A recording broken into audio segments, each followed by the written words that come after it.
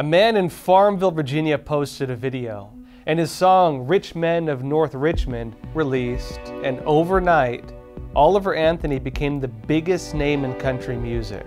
He sings of the stresses and the corruption of the modern world, the loss of the world that we grew up in, the way we watched it change into something unfamiliar.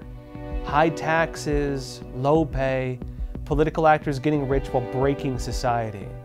It seems like across the board, people are moved by the message of this song. His song is part of a shift taking place in the country. It's populism.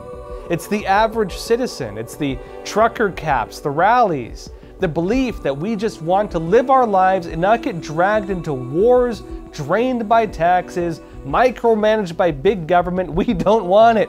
People just want to live their lives.